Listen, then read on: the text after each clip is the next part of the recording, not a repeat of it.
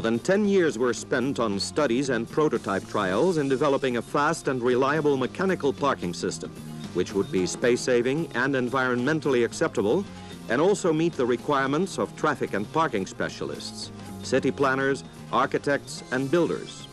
A system adapted to conditions not only of today, but also of tomorrow. And now, thousands of drivers are already familiar with Rotopark. You couldn't have it easier or more comfortable. Just drive into a free cabin, as you would into your own garage at home, switch off, put on the handbrake, and get out.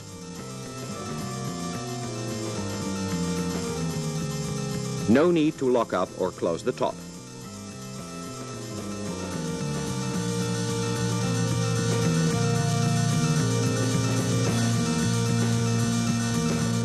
Night or day, in sport clothes or elegant evening dress, your convenience and comfort are assured. No more claustrophobia in gloomy basements. No more hunting for that elusive parking spot. No stairs to climb. With Rotopark's ingenious automatic handling, all that unpleasantness is a thing of the past.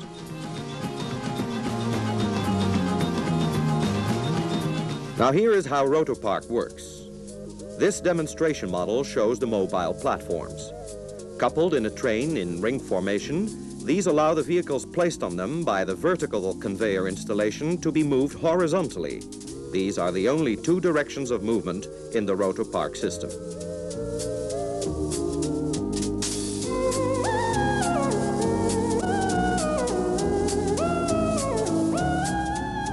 The Rotopark system is highly flexible. In its various options, oval, circular, or with coupled units, it is adaptable to most sites. The saving in space is clearly shown in the comparison between an existing ramp-type park and a rotopark of the same capacity.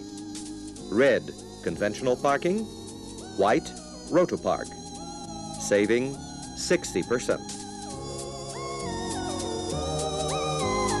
And in another example, the same space would provide around 40% more parking slots.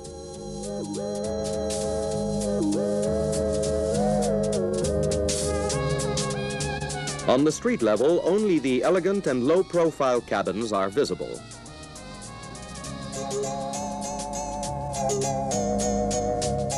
Rotopark offers the city planner and the architect a whole range of possibilities for functional and aesthetic integration under buildings or public squares, or even by a lakeshore, where a swimming pool could well be incorporated. A rotopark has been constructed at Geneva Airport. From the air, we see first the conventional surface parking area for 1,200 vehicles.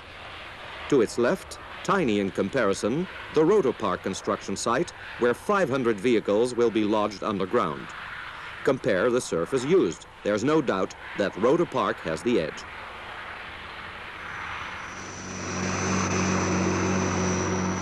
Unfavorable geological conditions at the site and the likelihood of water infiltration led to the choice of the molded wall technique for the construction of the concrete cylinder.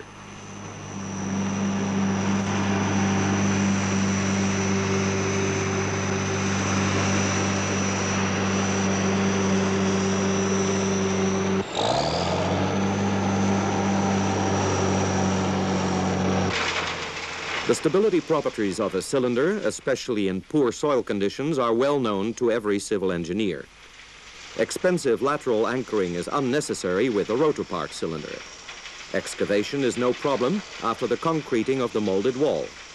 In a few weeks, the concrete base is poured and interior construction work can begin. The trolley bus gives a clear idea of the small volume taken up by a rotopark with a 500 vehicle capacity. The pillars measure only one foot square in section. The supporting walls, also seen here, are the load bearers for a multi-story office building. Note also the tracks for the future platform rings and the shafts for the vertical conveyors. Meanwhile, the manufacturing of the rotopark mechanism has been started. Diameter 164 feet, depth barely 40 feet. Maximum utilization of the available volume. Installation of the mechanical components of the Rotopark is a simple and swift operation. The concrete slabs are only six inches thick.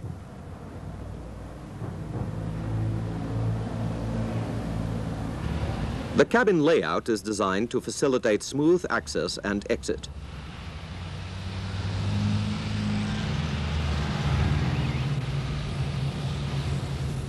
The central core can be used for a variety of purposes, such as cellars, storerooms, conference rooms, or showrooms, or adapted to install a restaurant.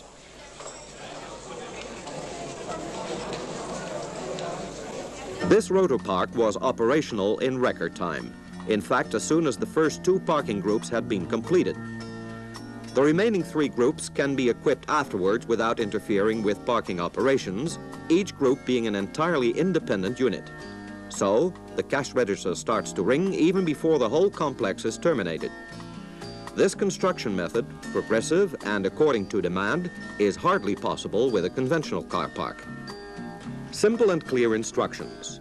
The cleanliness and spacious layout of the drive-in cabins have special appeal for woman drivers. The doors are automatically locked as soon as an electro-pneumatic monitor verifies that driver and passengers have vacated the cabin and has sent an electronic signal to the central computer. The cabin floor and sidewalks then open, and the vertical conveyor brings the car down to an automatically pre-selected platform on one of the lower levels. The whole process takes only a few seconds. As soon as the cabin floor has closed again, it is ready to receive the next vehicle.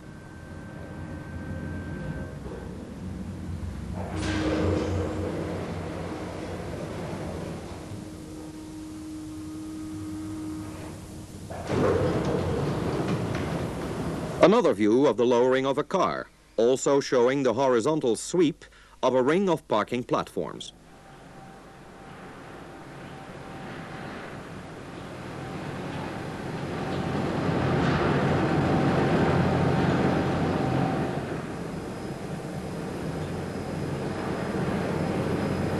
No additional handling is required for the transfer of the car from vertical conveyor to the platform. Protective panels have been installed between each level to catch water or snow runoff. This demonstration model gives you a closer look at the various operations. The vertical conveyor has endless chains to which two pairs of combs are fitted. One pair, in extended position, carries the car as it is taken down. The other, retracted to save space, moves up toward the cabin, ready to take the next vehicle. A trick shot of the model shows how the teeth of the comb simply pass through those of the platforms. A radical departure from the complicated gimmickry of other mechanical designs.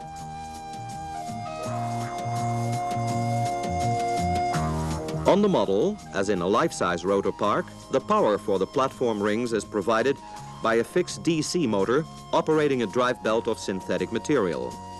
This extends around the whole of each ring delivering even propulsion to all the mobile platforms. Automatic controls ensure that the rotation of a ring always corresponds to the shortest distance.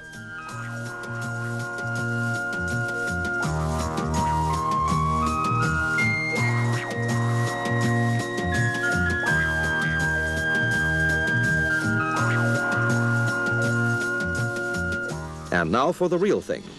On the first underground level, the heart of the Rotopark, we can see on the left the final stage of an entry, and on the right the positioning of a platform into the vertical conveyor shaft.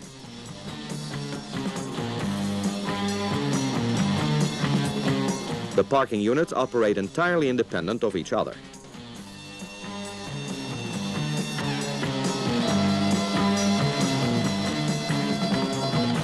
The movement of the ring to position the automatically pre-selected free platform to receive the vehicle takes place while the cabin is still taking in the car, a simultaneous operation which means important time saving.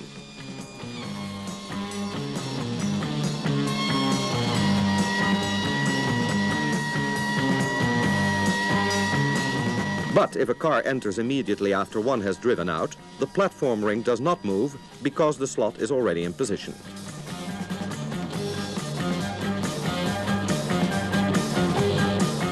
And a final and vital point, the electricity consumption per entry or exit is barely one kilowatt hour, an entire parking operation for about a penny in energy cost.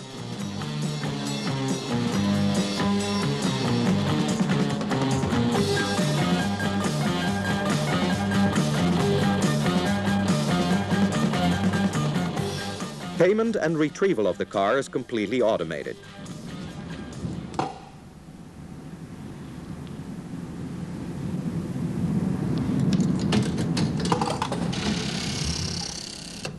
As soon as the amount on the visual display has been paid in, the client receives a punch ticket coded with all the data the computer needs for the retrieval of the car. In less than a minute, this lady will be back at the wheel of her car.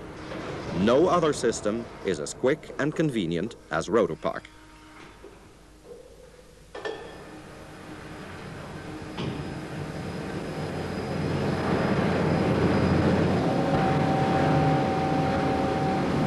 But Rotopark has lots of other advantages as well. No thefts, no muggings or accidents, no damage to bodywork, no dust or greasy deposit on car and windshield. Virtually no fire hazard, and in addition, greatly reduced overhead through the elimination of underground lighting, ventilation, and heating. And personnel outlays are limited to the pay of one single attendant, who can also handle routine maintenance, help people with physical handicaps, or, as in the Geneva installation, run a gas station on the side.